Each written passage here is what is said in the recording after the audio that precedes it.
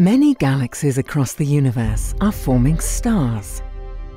But none are more prolific than starburst galaxies, which create stars at a furious rate.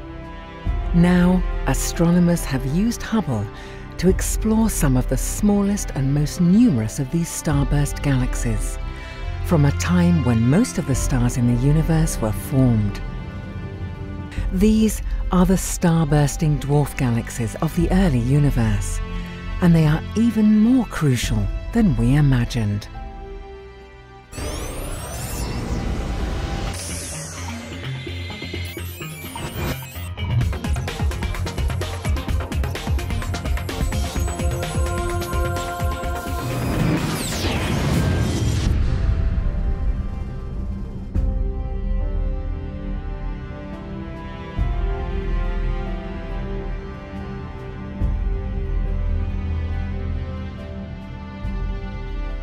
The universe is full of stars. But where did they all come from? Well, they formed inside dense gas clouds in galaxies. And this is a process we can actually see going on right now, both in our own galaxy, the Milky Way, as well as in many other nearby galaxies. We can even measure how many new stars are being formed per year. Now let's assume that, on average, all galaxies have been forming stars at their current rate throughout the history of the universe. In that case, we would expect far fewer stars in the universe today than we can actually observe. Now that means that galaxies must have been producing stars in the past at a much higher rate than today. And indeed, when we look at very distant galaxies in the early universe, we can see that they're forming stars at about 10 times the rate than today's galaxies. With the help of Hubble, we've even been able to trace out the entire history of star formation of the universe. And it turned out that most of the stars were formed between 2 and 6 billion years after the Big Bang. So, we pretty much know when the stars formed.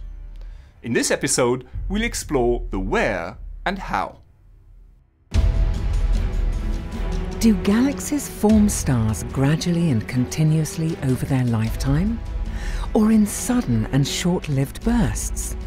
And does the size of a galaxy dictate the number of stars it forms?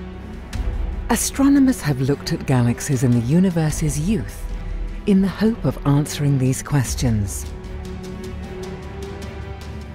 The most studied galaxies are the most massive and brightest because they are the easiest to observe. What they found was that the star formation in these huge galaxies can account for a good fraction of the stars we see today.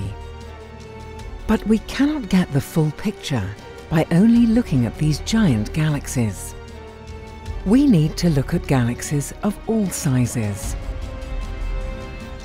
Astronomers have now used Hubble to study some dwarf galaxies in the early universe. These are the lower mass siblings of the giant galaxies that were studied earlier. Now these dwarfs are faint and small, and hence they're quite difficult to study when looking halfway across the observable universe. But it turns out they were well worth finding, because some of these dwarfs are putting on quite a show. About a third of these dwarfs were forming stars so quickly that they could actually double their entire mass of stars in only 150 million years.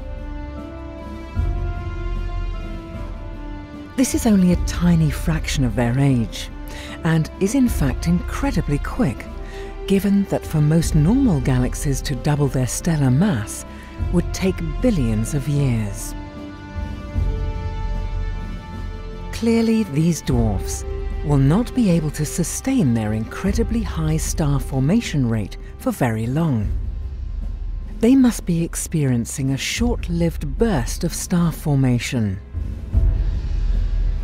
But the sheer number of dwarf galaxies throughout the universe means that this rampant starburst activity translates to a staggering number of stars. So how did they do it? How could the astronomers measure the star formation activity in these very faint dwarf galaxies? Well, they used Hubble's highly sensitive Wide Field Camera 3 in its GRISM spectroscopy mode. A GRISM is a combination of a grating and a prism, and it splits up the light of a galaxy into its constituent colors, producing a spectrum. The point is that this is done extremely efficiently, losing hardly any photons in the process and covering many galaxies in a single observation. Now, once you have a spectrum, you can look for the light emitted by the hydrogen gas in the galaxy. If there are stars being formed in the galaxy, then the intense radiation from the newborn stars heats up the hydrogen gas and makes it glow. Importantly though, all of the light from the hydrogen gas is emitted only in a small number of very narrow and bright emission lines. And these are much easier to detect than the faint light from the stars themselves. And the beauty is that the amount of light in just one of these lines tells you exactly how much star formation is going on in the galaxy. Finding and studying different sizes of starburst galaxies gives us new insight into the universe's history and helps to unravel the secrets of galaxy evolution. At the moment, we cannot be sure what processes make these dwarf galaxies form stars so actively. In principle, a starburst can be triggered by a number of different events in a galaxy's recent past. For example, this could be a merger, or just a tidal interaction with another galaxy, or a shockwave from a supernova. For our sample of starbursting dwarf galaxies in the early universe, we just don't know yet what triggered them. All we know for now is that you don't have to be large to pack a star-forming punch. This is Dr. J, signing off for the Hubblecast. Once again, nature has surprised us beyond our wildest imagination.